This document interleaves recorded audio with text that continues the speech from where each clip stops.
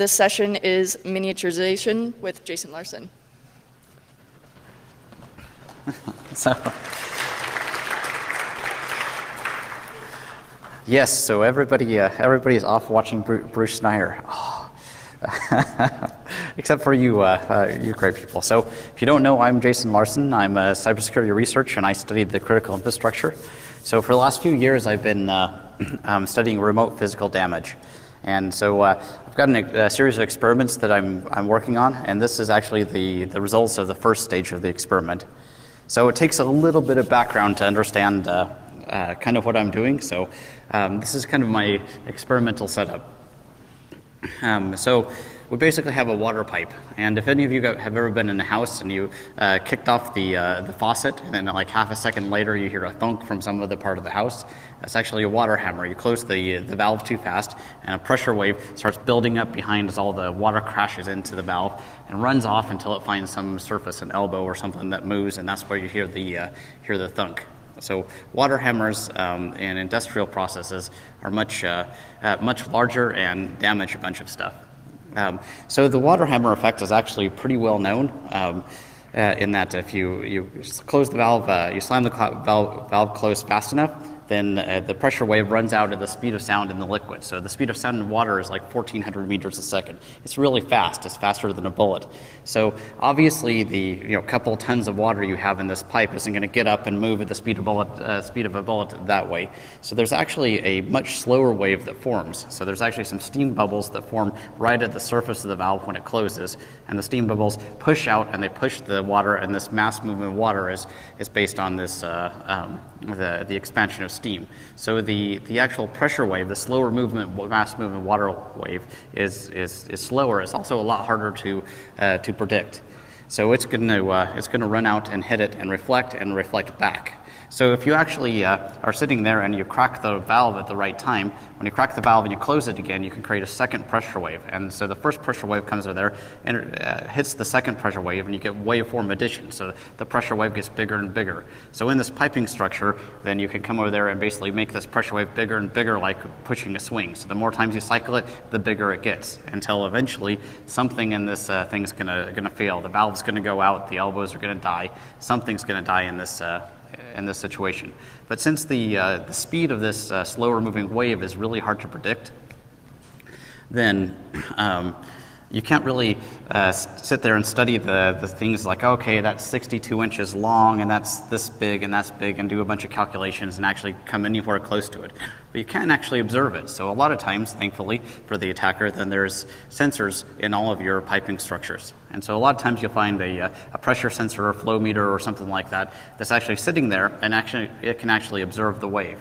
So if you have a, a pressure sensor somewhere in this uh, structure with the valve, and you close the valve really fast, and this, uh, this wave goes by, then you have the time x from when the valve closes until you actually see the, see the first wave. It's going to come out, reflect, and come back, and you're going to see it. So the round trip time from the reflection back is y, and then going to have the time from the, uh, the sensor back to the valve that's x. So the whole round trip time from the valve to the elbow and back is going to, is going to be 2x plus y.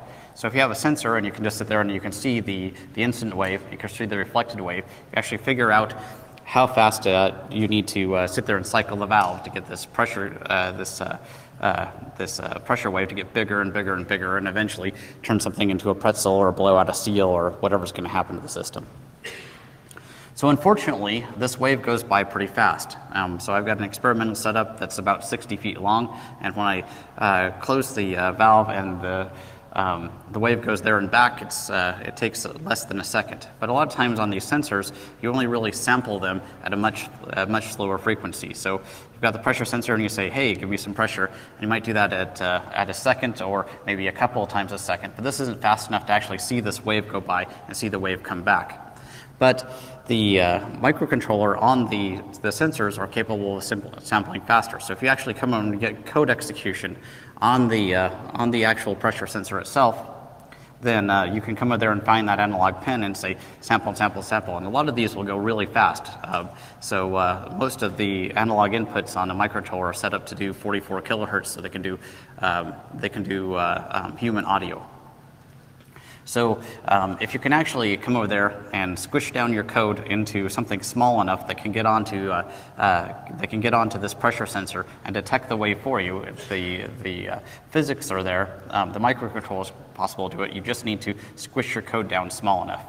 Um, but unfortunately, the small microcontrollers are uh, um, are actually um, really really small. So a lot of these are MSP430s, Atmel AVRs, um, some old Hitachi CPUs, and, and stuff like that. So uh, most of the flash on those are already full. So you've got a, a microcontroller with only kilo, uh, kilobytes of memory, very little CPU power, um, uh, and uh, they're all actually kind of a little bit fragile. So um, the first stage of my experiment was basically, uh, can I actually miniaturize some code down enough that I can do all the processing necessary to, uh, uh, to extract the, the round trip time of that wave into a very small microcontroller.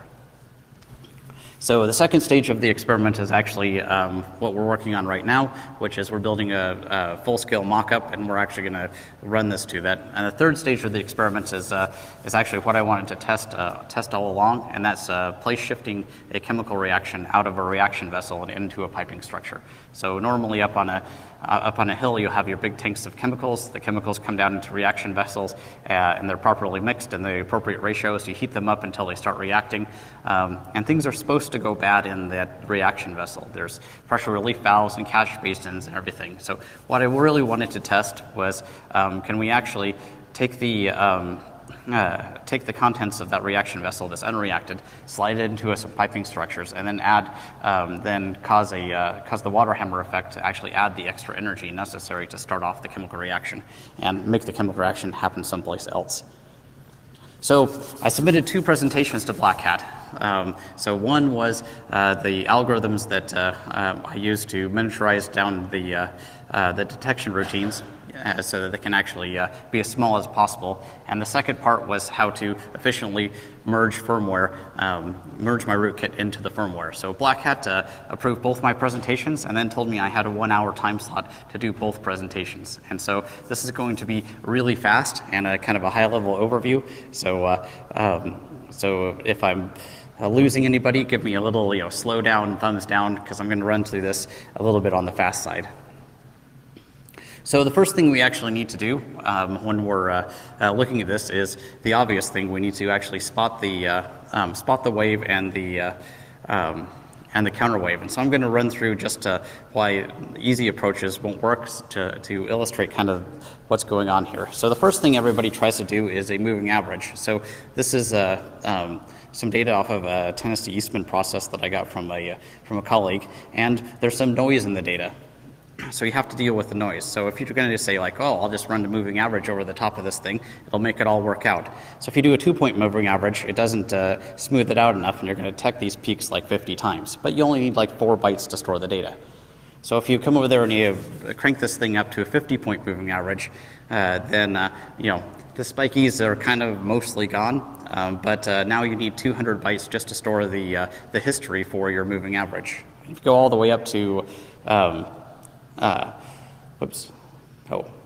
So if you go up to, all the way up to um, uh, to 200 points, I'm missing, actually missing a slide there. If you go all the way up to a 200 point moving average, then everything starts looking good um, uh, and everything's nice and smooth. Uh, but at that point, you need 800 bytes just to uh, uh, just to store the history of the moving average. And since we're only going to uh, have a couple of kilobytes to actually build our entire rootkit, um, these types of things are really way too big to stick in there. Um, also, a uh, moving average is a is a scale dependent algorithm. So if I want to know how how big of a moving average I'm going to have to to do to actually smooth out this waveform, then uh, um, I have to know what the the signal looks like. So if the signal was really really noisy, I might need you know a thousand byte moving uh, thousand sample moving average. If it's already really clean, I might not only need a few uh, of them. So this is scale dependent, meaning that I have to have pre knowledge of the the signal before I can write my algorithm.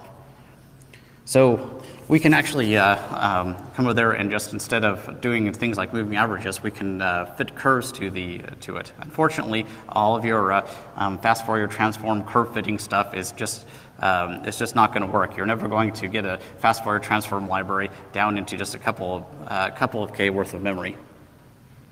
So what you can do is you can actually match a, set of line segments on top of the, uh, on top of the data. So if you uh, look at the process uh, data and you look at a set of line segments and you match a set of line segments over the top, this actually gives you a pretty good estimation of, uh, of what's going on in the process. Um, triangles are, uh, um, looking at a series of triangles is actually really cheap and easy and, uh, and easy to calculate. You can just do a few divides and you're there. So we need a, actually need an algorithm to stretch over the top of that. And so I'm not going to run over, uh, I'm just going to throw this up there and just describe how this algorithm works. So to do uh, the actual triangle matching and get it really, really, really small, you basically start at, uh, at a point and you start taking, you, you uh, project two slopes up over the, the top of the data.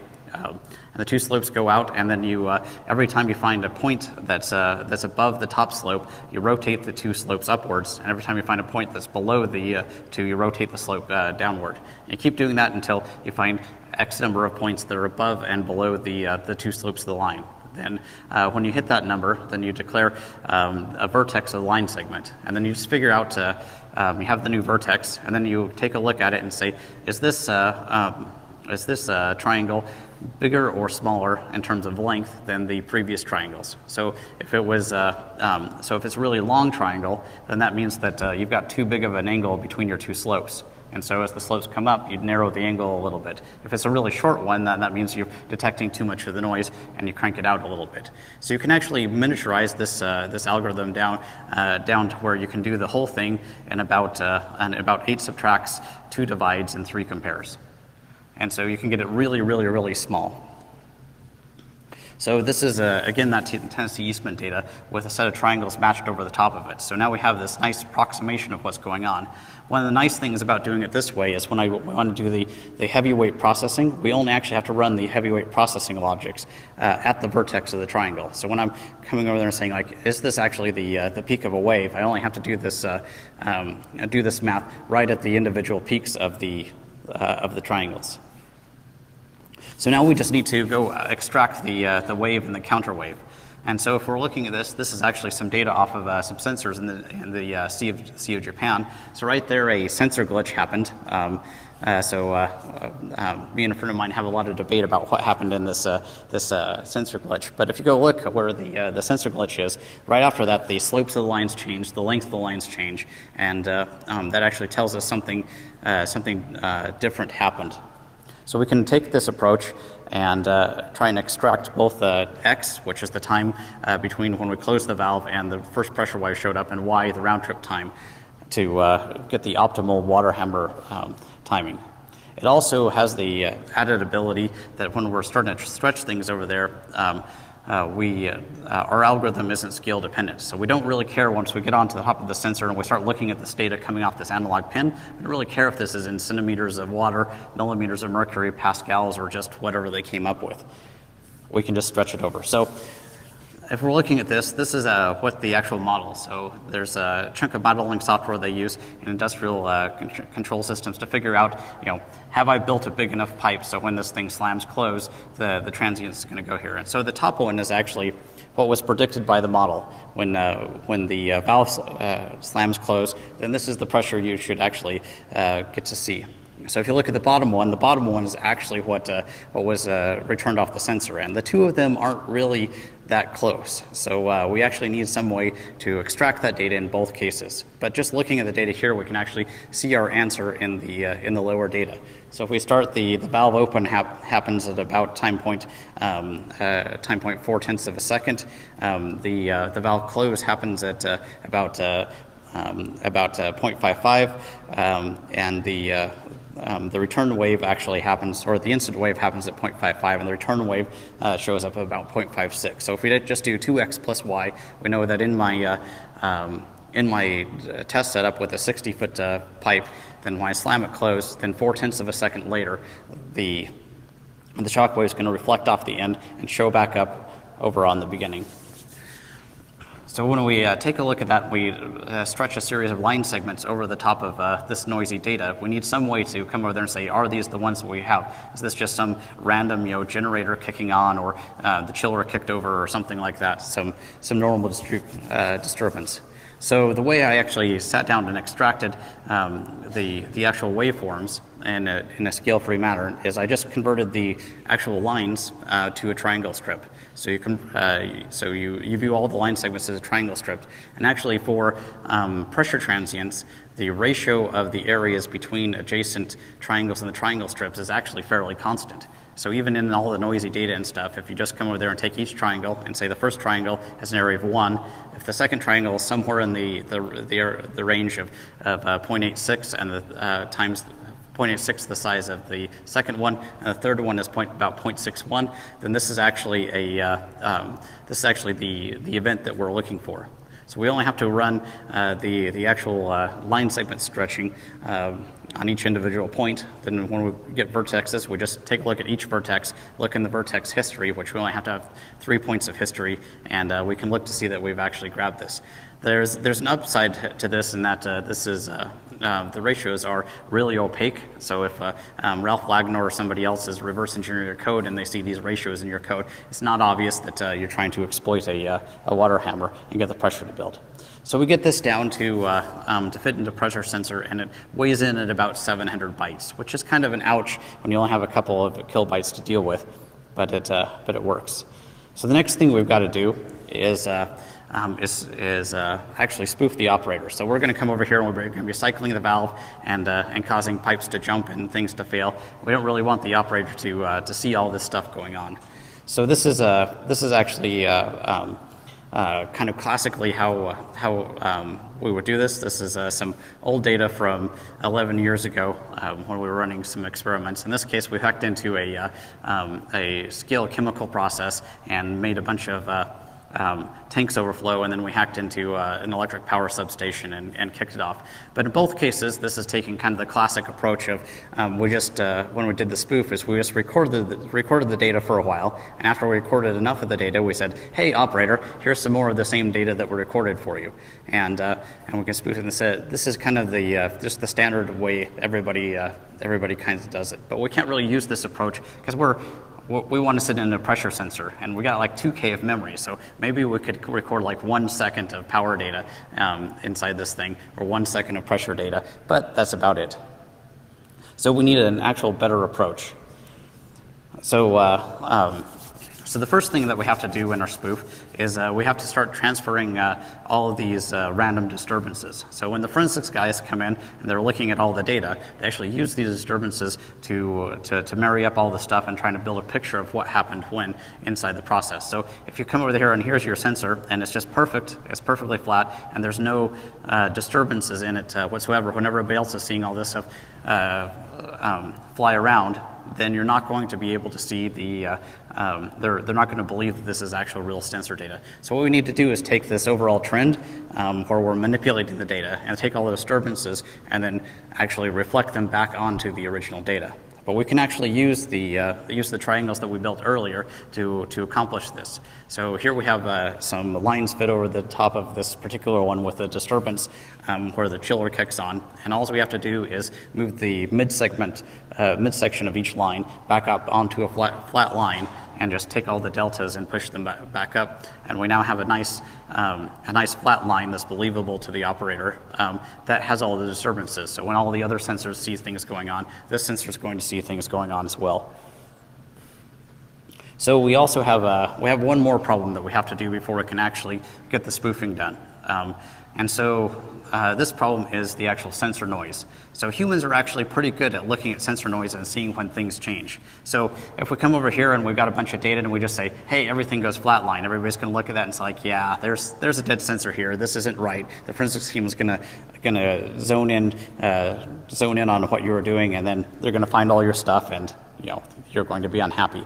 So you can use a series of things with uh, shifting and uh, scaling to try and regenerate sensor noise. So, uh, but if you shift things up, if you shift every point onto the line, obviously you're going to make a straight line. So you have to shift things in blocks, and uh, the blocks start uh, start giving you these stair step patterns. And uh, if you just scale things, then sensors uh, don't have the same dynamic, uh, the same noise over their whole dynamic range. So some of them have a little bit of noise up here, and then as they go by, they have bigger noise, etc. So if you take a little bit of noise down here, you scale it up, you start getting really, really large chunks of noise. So we need a better way to regenerate sensor noise. So uh, um, if we just add a bunch of randomness and try and fake it, then humans are going to see something like this. Here's, here's your sensor noise um, that goes along, and then here's something totally different. So humans zone in on kind of the spikiness, the widthiness, and um, the gaps that are going on there to see if it's actually the same. So if you're a math major, you say, yay, fast Fourier transform. All I'll do is I'll take all the frequencies of the noise signal and I'll propagate them, uh, propagate them out forever. Um, so, but your FFT library isn't going to fit in this couple of kilobytes we've got on this, uh, this sensor.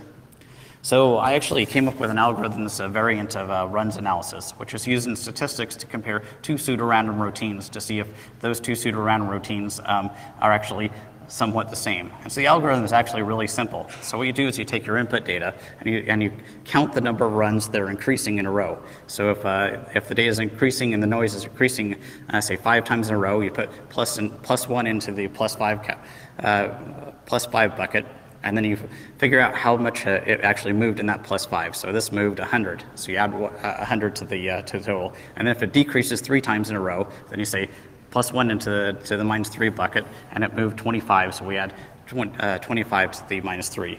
So after you sample for a little bit, this actually produces this nice normal distribution like you expect in any random sampling. So you have uh, the random distributions of them, and then you also have um, a set of line segments. So if we've added a bunch of stuff to the plus five bucket, we know on average how, how far the plus five bucket moved.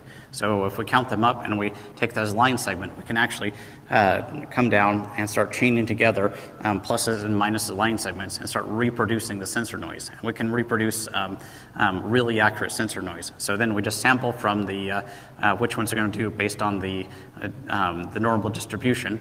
So we throw a random number, we pick from either a positive bucket if we want to go up or a negative bucket if we want to go down, and we chain together those line segments. And that actually gives us um, um, really believable sensor noise without uh, pre-knowledge of what's happening on the sensor in a wide variety of algorithms. So here we have the uh, sensor data. This is more Sea of Japan sensor data, um, where uh, the first part of the data down through this, the, the whoosh is actually the real data. And as a human, you go, okay, there's real data there. And it's all nice and spiky and gappy and everything. And all the rest of the, the rest of the data there is actually generated programmatically off of the, off of the uh, um, the noise. And uh, as you can see, it has the same spike characteristics and gap characteristics. And to a human, is actually going to look um, look really good. So after we've uh, implemented this algorithm, um, we can get it down to about 400 bytes, um, plus or minus, depending on how we do the insertion. So uh, um, that'll definitely fit in our pressure sensor.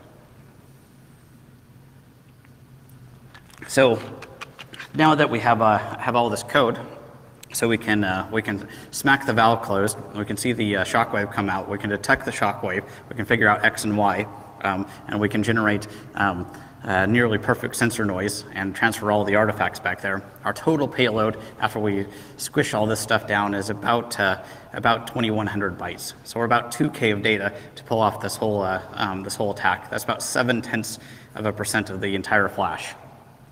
So what we have to do now is actually um, insert, it in, insert this uh, code into the firmware efficiently. And so uh, um, this is going to start jumping into uh, a bunch of assembly stuff. So if assembly bores you, then now is a good time for popcorn.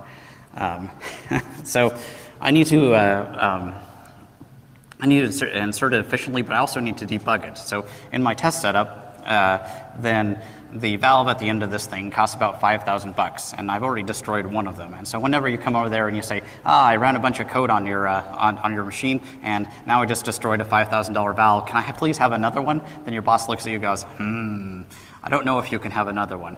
So you want your code to be really, really, really accurate and, uh, and, and debugged. And so what I needed was some way to code up all my rootkit on my trusty MacBook Pro and debug the snot out of it and make sure it actually really, really, really worked.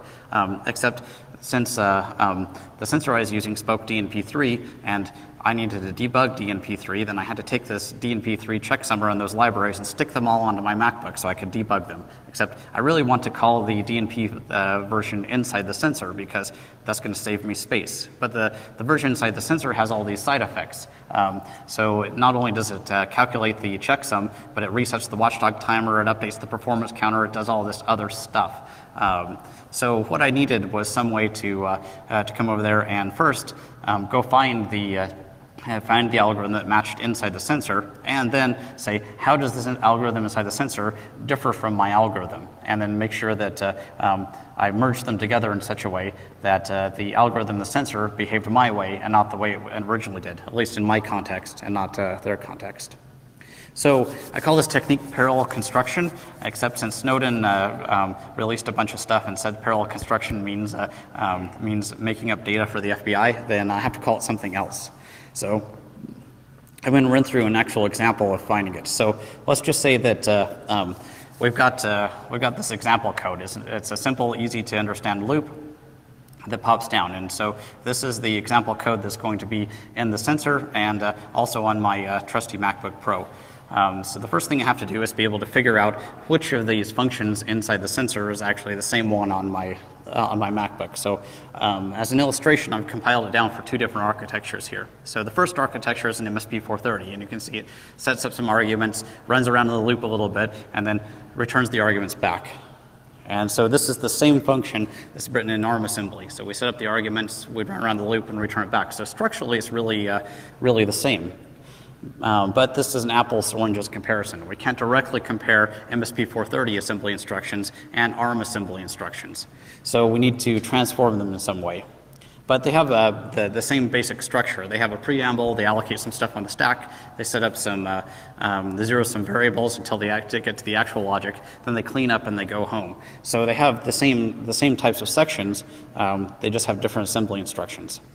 So the way I solve this is actually um, by converting things to micro-ops. So um, uh, an assembly instruction is actually a complex beast. It does more than one thing.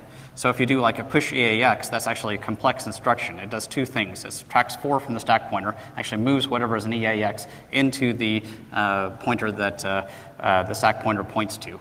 So one of the things that we can do then is we can take both of these assemblies and we can describe them as this in, in the same micro-op language.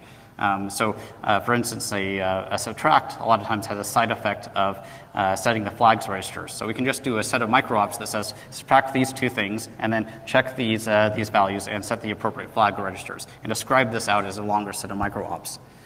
So let's go back to the two functions that we have here. The, the bigger one at the top is, uh, is the ARM assembly and the lower one at the bottom is the MSP430 assembly. So we've got uh, um, and we've got these two functions that should be the same because they came from the same uh, C code, um, but now I've converted them uh, over into the same micro-op language. And so we can actually directly compare these instructions now um, because they have, the, uh, they have the, actually the same language.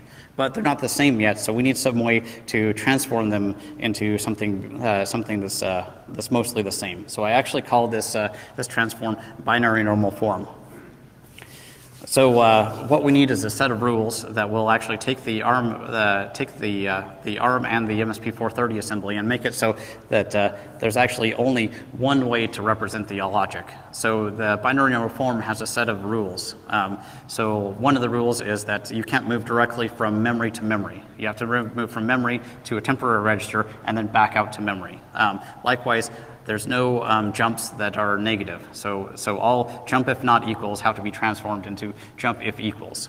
So if you take all of these, uh, um, these, these rules and you apply them, uh, apply them over and over to the logic, you normalize the logic.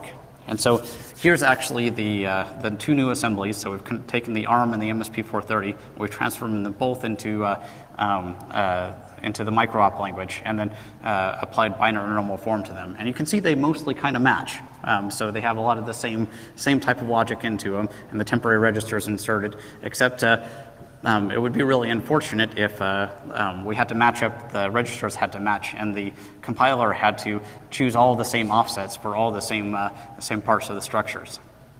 So uh, uh, in this case, um, here we have register 4 being used for something in the MSP430 and register 11 being used for it over in the ARM assembly. So we need some way to, uh, to take out all the, uh, the stack operations and all the register relocation stuff and turn it uh, actually into uh, something that can be directly compared. And so the last transform is something I call an infinite register file. So what if we had a CPU that had an infinite number of registers? There would be no, no need to allocate things on the stack. There would be no need for a stack um, at all because when you wanted some more, uh, some more space for something, you would just allocate a bunch more registers out of the infinite register file. So in this case, uh, things like uh, over here um, on the setup, um, there's really no need for a base pointer at all anymore, but you could just move something to a base pointer. Um, if you, instead of allocating on the stack, you could just allocate a few more registers, and instead of having a local variable that you're putting zero into, you just allocate a register and set it to zero. So this is a, um, this is the actual logic um, uh, in the uh, infinite register file, uh, what the infinite register file applied to it. Uh, so you can see everything gets a whole, a whole, lot simpler when we throw out all the stack operations. So since now this, uh, this meta CPU with an infinite stack doesn't need a, uh, the, an infinite number of registers and have a stack, we can directly compare and the logic actually matches. So now if I take, um, if I take my uh, routine that I've coded up on my MacBook Pro and the routine that I got out of the pressure sensor, and I uh, take them, I transfer them both into not binary normal form, I can sit there and just walk through and say, do these th two things match, So because they should match um, exactly. And so I can go find the, say, the GMP, DNP checksummer, and both of them match them up. So, uh, um, but let's just say that uh, the version of the software that I, uh, I compiled down on my MacBook isn't exactly the same as the version of the software that's inside the sensor itself. So in this case, let's say I've got uh, um, the same loop that's, uh, that's in there, and I have my evil loop that adds four to it every time it goes around. Um, so these two loops are, are very, very similar, but they're not exact. So what we need to do is have some way that we can go look at it and say, how similar are they?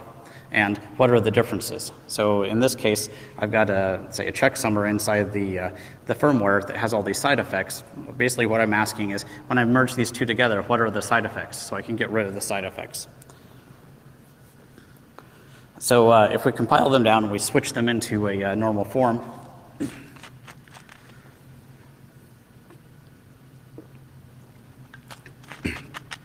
then uh, um, if we compile down switch them into normal form, this is what they look like. And uh, if we go look at it, then there's actually only a couple of assembly instructions different between the, the first uh, second one, the first one and the second one. So one of the ways we can talk about how different they are is to talk about the edit distance between these two functions. So we have function A and function B, and we can actually make these uh, two functions the same function uh, by uh, inserting a single if statement into the, uh, into the assembly. So here we have the first one and the second one. If we insert this if statement, which uh, has another if arg2, so basically uh, up in memory I'm setting a global uh, at the top of when my rootkit is running. I unset it at the bottom of it. So it basically runs out and it uh, checks that global and says, am I executing in the rootkit context?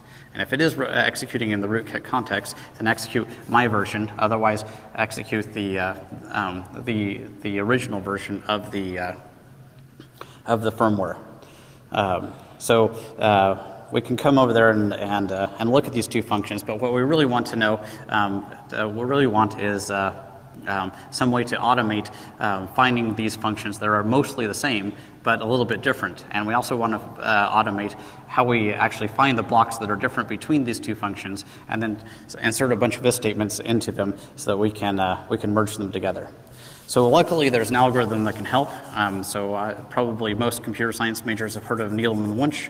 What Needleman-Wunsch does is it takes two input strings um, and finds the, the closest match between those two input strings. So in this case we've got uh, um, inserting uh, code is fun and inserting rootkits is fun. And if we, uh, we tell it to go align these two, it, uh, it aligns them uh, like, like is below. So since the first string is shorter, it's got to insert a few spaces into it to look at it. So these two strings actually have an added distance of two. Um, so uh, if we start comparing the things that match, inserting matches until we get to a section that doesn't match, and so there's the first, uh, the first edit, and then there's a second edit, and everything matches up. We can also calculate an efficiency of the two matches.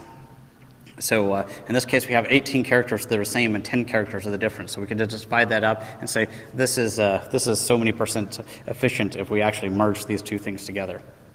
So if we take our, our two functions, we've got uh, um, function A and function B, my evil version, then uh, um, what we could do is we can just turn these micro-ops into a set of letters. Needleman-Wunsch doesn't uh, declare an alphabet, just that there's unique letters. So if we just uh, create a transform to take every micro-op and then turn it into a letter, um, then we can generate a string of micro-ops after we convert them to normal form, and then we can compare the two of them. So since I do this uh, all nice and, uh, and binary wise, then I created some fanciful letters uh, for, uh, for these since binary doesn't show up on slides very well. Um, so in this case, we have um, in this case we have a, a, set of letters that are micro-ops for function A and a set of letters that are the micro-ops for function B. And so we uh, shove the two of them through Needleman Wunsch, and this is the output string that it got uh, between the two of them. And so if we could start looking at it, we just take all the letters that actually match, and those are the same between the two functions. And we take the sections that don't match, and those are the ones that we have to uh, enclose inside of an if, uh, an if then else or an if and else block, and then the rest of them that match um, come over there. So um, if we take uh, if we take a look at that, where these two things are, it actually even tells us where to insert the if. Um, so as soon as we find a section where the letters don't match, then we say those are enclosed within the if, and the others, the, the original one's in the if, the other one's inside the else block. So uh, um, uh, so if we, uh, if we take these and we have if and, if and else's, then we can actually start calculating whether or not it's efficient to insert this into the, archi uh, the architecture. So if we actually know that inserting an if statement uh, costs us 80, uh, 8 bytes or 16 bytes, then we can come over there and say, here's the, here's the whole function. This is going to take two ifs. If we merge, the, if we merge them together, um, do we have more than 8 bytes of savings between merging these two functions together? And we can start doing those. So if we can match functions, then we should be able to match entire subassemblies. So if uh, somebody compiled OpenSSL down for one architecture and OpenSSL down for another architecture, um, then we should be able to match the entire OpenSSL uh, subsystem between the two. And we can do that simply by running around and taking uh, all the, uh, the, the function graph we can take all the leaf functions uh, that we have in the two, the two graphs and find the best match for every leaf function. And then we just recurse up and find the next best match for all the parents functions and all of those parent functions until we no longer match uh, below our threshold. And so in this case, um, we've, got, uh, we've got a subsystem of, of, functions, and we can actually describe the, the uh, distance between those two, sub, uh, those two subsystems um, as, as an edit distance. Um, one of the things that uh, um, uh, one of the things that this allows uh, allows you to do then is as you're inserting the rootkit, you don't care if the vendor is actually changing the version of, uh, of the assembly in his target rootkit. So if he's running the micro IP IP stack inside of his, uh, um, inside of his uh, firmware and he updates to the new version of the micro IP stack and I've got an old version inside of my, my rootkit code, then I can just come over there and say like, oh, just give me the best, uh, your best effort match as I insert you into the new, uh, in, into the new firmware. And so when I insert it into the new firmware, then it'll just be a less efficient, insert. So now we can actually uh, go about uh, building this, uh, building this rootkit. So we, we run around and we find uh, all the, the best match nodes uh, for, for everything that uh, matches. And anything that doesn't match, the, the, that merging the functions together would actually make them bigger than the original function. Then we just add all those to the end. Um, and then, but we're still in the micro-op language. So then we basically have to do all the things that a compiler normally does. We have to reverse the, uh, we have to take all of the, uh, um, the registers in the infinite register file, file, run them back through a register relocation language and assign them to registers. Then we have to reverse it all, moving up through all the optimization stages, and eventually generate a, um, generate assembly in our target assembly structure. Um, and so this is basically chapter three of most uh, compiler handbooks. Uh, so uh, we're basically running a compiler backwards at that point. So we get our uh, um, we get our rootkit uh, all set up, and so the final overhead of, uh, of, of, all this stuff, um, so it took about, uh, um, in my test case, it took about 2,100 bytes to describe, describe how to detect these waveforms and detect the, the, the reflection, how to um, spoof all the sensor noise and all that stuff. And uh, so the, um, uh, oops, I have the I have a wrong number. So the uh, the original firmware was about uh, about 60k. The updated firmware is about 62k. So if we look at that uh, um, as, uh, in terms of efficiency, then um, we took our rootkit and we, we shrunk it down by merging all these functions um, by about um, by about 35 percent. So after all the, the work of matching all the functions and stuff, we made about 35% um, smaller. So um, the demo gods have not been uh, kind to me on, uh, uh, on this particular one. So uh, to actually demonstrate this out, um, I thought, haha, so what I'll do is I'll run out and I'll buy some, uh, um, I'll buy some uh, Modbus um, serial to Ethernet converters. And so this, these will these all be great. So I went out and I bought I bought three of these guys and started poking at them. And so this one actually has a 186 in it, and the other two have have some itty bitty little arms in them. And so all three of them. Uh, uh, all three of them actually have um, unauthenticated firmware upload, which I wasn't uh, expecting. I was thinking I was going to have to write some O days to actually get the firmware to install on them. But all three of them, you basically just connect to a port and say, please take my firmware, and it takes the firmware. So the firmware updating part was, was actually really easy. And then I ordered a, uh, um, I ordered a high-speed scale. Um, and the high-speed scale didn't work at all. So there was like a half second delay between when you touched on the scale and you actually saw any, any change in the data. So it was totally crap. And so since I didn't have time to uh, actually order another high-speed scale and get it here in time, then uh, I did the same thing that uh, all geeks do. And I went to Best Buy and I ordered, I bought a joystick and I put a spring on top of it and I made a scale. so uh, um, uh, so I, uh, so I must apologize for my, uh, uh, for my scale mechanics going on there.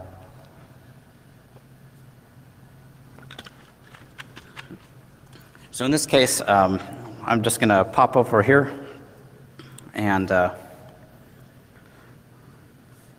um, doo -doo -doo so you can see some of these, uh, these algorithms in, in, in action. So um, so on the top here, this is the, uh, this is the signal off of my, um, off of my sensor. So, uh, you know, as I put pressure on the scale, take the pressure off, then uh, the scale looks, uh, looks all nice and good. So this is actually the, uh, the, the, line matching algorithm uh, in effect as it's going on. So uh, in this case, I'm not exporting that from the, uh, uh, from the microcontroller. I'm just, uh, um, I'm just recreating the logic that's inside the micro, microcontroller actually in it. So, so if we go look at it, then this is the data part. So whenever we're looking at the data to see if stuff is going up and down um, in the appropriate fashion, then, oh, as I, as I trigger my trigger my detection as well, um, going up and down. And so then this is actually the noise generation. So this is the uh, um, this is the native noise uh, uh, up on top of it. And then down here, then this is a computer generated noise just off of the top of the, uh, of the sine wave. So we've, uh, we've taken uh, via RENNS analysis and we've broken all of this down into its components. And then we're just randomly sampling out of the pools to generate this sensor noise. So, uh, um, so the primitives that we have are um, are just the, uh, the straight line segments that have been miniaturized and inserted and the, uh, um, and the sensor noise. And so from there, we can, uh, we can start extracting all of the, uh, the artifacts that we need and then generating any spoof that we want, whatever we want to show the operator. So I couldn't actually bring a, a, bunch of industrial control system stuff um, over here to, uh, to do demos with. So if you're going to have a water hammer, then it's going to have to be a, a water hammer uh, uh, with a bottle of water. so in this case, uh, we've got the, uh, the triangle matching, and we're going to turn the, uh, the line segments into triangle strips and then try and extract it. But my spring here isn't actually very accurate, so, um, so um, when it's uh, detecting this transient, I'm getting lots of false positives and, and false negatives. But in this case, we've got, uh, we've got it running down in just a couple of kilobytes of memory. And when I uh, um, drop, a, uh, drop a water onto the, to the plate to simulate my water hammer, here it's just triggering it to start a spoofing routine. So at this point, it's detected the water hammer. Um, uh, it's uh, turned the, the input signal that's running through this little Modbus to serial converter over there. It's detected the input signal. Um, uh, turned it into a set of line segments, created a triangle strip, and then taken the ratio of those triangles and the triangle strip uh, to, uh, to figure out that I've actually crashed something on top of it. So if we crash it again, then it should come back. Although this has a lot of, uh, um, has a lot of uh, um, false positives. And so now we're back and, uh, and, and everything's, and the spoof is released and all, everything is going as, as normal. So in this case, we've got um, uh, we've got it uh, chunked back down. But uh, where I think we're, that, uh, that we can go for these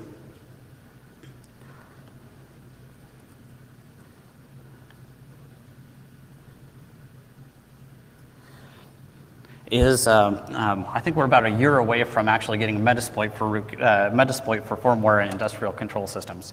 So since uh, I was able to do the insertion in such a, in such a generic way, then a lot of these devices reuse code. Like tons of devices buy the Square D DNP stack. and that's what they use to speak DNP3. So if they're all reusing the same code, then we should be able to make generic insertion routines that come over there and take the firmware out, break, break, it- break the firmware down into a normal form, and actually do some detection. So if we take all the leaf nodes in our sample, um, uh, our sample DNP stack, and we match them to all these leaf nodes inside the firmware, uh, firmware of the device, we can sit there and match and, and get a percentage chance that this is actually um, this particular vendor's DNP stack or this particular vendor's Modbus uh, implementation. And so if this is uh, in multiple products across multiple vendors, we can just break it down and say, um, that matches 92%. I'm pretty sure that that's that particular vendor's, uh, vendor stack. Then if we write uh, various rootkits and, and uh, we compile them down, or various components for, for detection and attack and, and things like that, then we can put those in a set, set of modules as well. And so uh, um, in that case, we can take a, take a firmware in, um, break it down and say, oh, this has this vendor's X, this vendor's Y, and this vendor's Z in a way that's a lot more, uh, uh, a lot more elegant than just like flirt signatures. Um, uh, come up on a console and say, um, okay, so since this has the, uh, um, this, uh, this one's using the micro IP IP stack, then here's my inserter, my injector for the micro IP IP stack that gives you hooks into the sends and receives and all the other fun stuff. Here's my payloads, crunch them down, um, run them through there, and efficiently merge them into the, uh, into the target, uh, um, target firmware. So uh, I think we're probably about, uh, about a year and a half uh, before we do that. And so once we actually get there, we can actually then start testing um, industrial control processes at penetration testing speeds. Where we can go over there, we can hit a device, pull the device, um, come up with the attack, code up something really, uh, really quick, and shove it back in there, and have our entire time between looking at it, um, breaking it down, and seeing if uh, seeing if the, this is going to work Toro can actually test this. I think we could get this down into just you know 10 or 15 minutes from, uh, from actual uh, firmware extraction to testing the scenario that we're, uh, that we're up to testing. So uh, I think we'll get there. Um, so we're not quite there yet. There's still a lot of manual interaction with, uh, um, with breaking down the firmware and that type of stuff. Um, but it's getting a lot more automated. So uh, with that, um, I'm coming to the end. Uh, so do we have any uh, any questions? I think I was uh, I, I went through that one a little bit too fast actually, but so I've done a